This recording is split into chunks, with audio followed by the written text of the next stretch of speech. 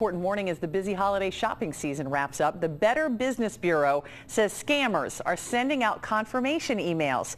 They look like emails from big retailers like Walmart, Target, and Costco. But then if you click on a link in the email, it could be a virus, letting scammers search your computer for your banking information.